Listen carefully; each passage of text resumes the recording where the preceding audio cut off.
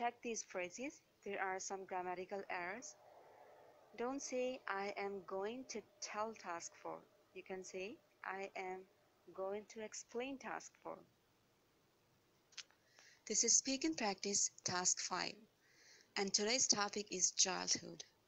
Childhood is an early period of our life which is spent with friends.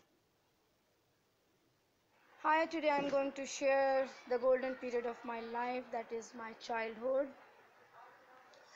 Uh, really, it was the beautiful time and I was very happy. I was youngest in my family, so everybody loved me. I was a social butterfly, that's why I was having a lot of friends in my school and in my neighborhood. It's childhood, not childhood. Child, child, childhood. And don't say who had sincere with me. Don't use a singular verb when you start a sentence with both of.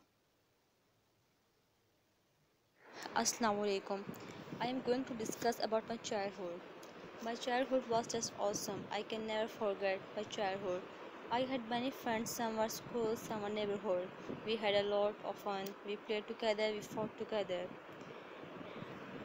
Childhood memories are special for everyone. I have a lot of unforgettable. I'm learning English since it enables us to communicate with people who doesn't know our mother language. Um, so English is the most common language we can speak with anyone from all over the world. Um, English skills are important in the Assalamu alaikum. Yes, I had a happy childhood. Yes, I had many friends in my neighbors and also in school. Once I touched a lamp and then suddenly the lamp